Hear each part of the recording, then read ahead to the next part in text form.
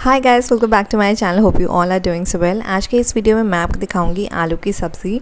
ये सब्ज़ी हम लोग लॉकडाउन में बहुत बार खा चुके हैं और जब भी हमारे घर में कोई भी सब्ज़ी नहीं होती थी तो ये तो बननी बननी होती थी। जैसे ही बनती थी, फटाक से ख़त्म हो जाती थी। काफ़ी इजी है दोस्तों, चलिए शुरू करते हैं। सबसे पहले एक कढ़ाई ले लीजिए, उसमें दो से तीन बड़े चम्मच तेल डाल लीजिए। जैसे तेल गर्म हो जाए, उसमें डालें उड़द दाल और थोड़ा सा जीरा। और ये दोनों जैसे स्प्लैटर कर रहे हों, उसी टाइम पर आप डाल लीजिए यहाँ पर दो से तीन बड़े मिर्ची छोटे छोटे टुकड़ों में कट करके और इन्हें अच्छे से फ्राई करने के बाद अब हम इसमें ऐड करेंगे आलू। तो यहाँ पे जो आलू हम इस्तेमाल कर हैं, उन्हें आपको लंबाई में और थोड़े से मोटे में काटना होगा।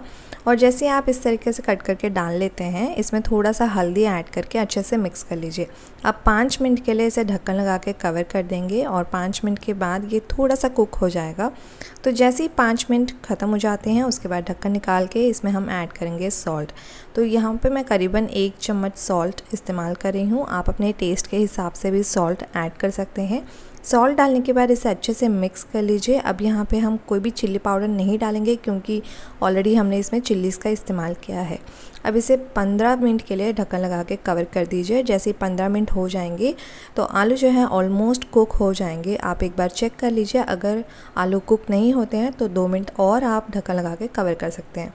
तो यहाँ पर हमारे आलू जो है बहुत ही परफेक्टली अच्छे से कुक हो चुके हैं। तो यहाँ पे धनिया से गार्निश कर लीजिए और अच्छे से मिक्स कर लीजिए। अब आप इसे चावल के साथ, रोटी के साथ बड़े मज़े से खा सकते हैं और पूरी के साथ भी खा सकते हैं। अगर आपको ये रेसिपी अच्छी लगी तो ज़रूर लाइक कीजिए शेयर कीजिए और कमेंट कीजिए। अगर आप मेरी कोई भी रेसिपी ट्राई करते हैं तो इंस्टाग्राम पर मेरे साथ डेफिनेटली एक पिक शेयर कीजिएगा।